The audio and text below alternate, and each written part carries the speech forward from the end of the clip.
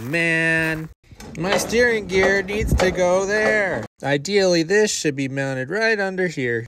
But this cast iron cross member that used to hold the engine up and is currently holding the radiator up needs to go away, even though I think it's really cool. Now I've got a couple options. I could take this front axle and move it back. Well, I think that would ruin the look of the truck because the original front axle sat right here where this one's sitting. Plus, it's always nice to have your front axle forward. It makes your approach angle better. And it's really nice where the axle currently sits because everything clearances the oil pan just fine. Also, this big old power steering gear is going to try and rip these frame rails apart when it steers. And I'm not sure if this old cross member is going to be enough because it's held on by just two bolts there on each side.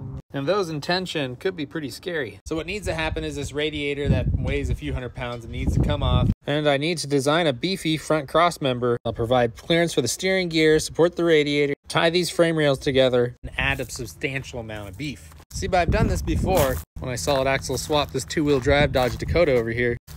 I scabbed everything in, and this thing's been going strong for years. My plan is to make something like that without disturbing the look of this thing.